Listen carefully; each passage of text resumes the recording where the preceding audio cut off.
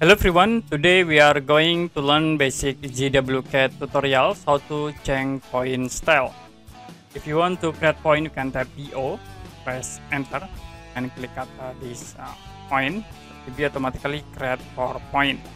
If you want to change for the point style, you can tap point again and you can tap S to move into setting tools. Like I will set into this style and click OK. So the point will be changed into this style. You can tap PO, enter, insert in here for point. And if you want to set again, you can tap S, go to settings, and click like into this uh, style. Point size I will set into 10. Okay. okay.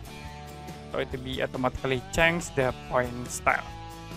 Okay, that's it for basic GWCAD tutorials how to change point style. And if you have any question about this tutorial you can comment below this video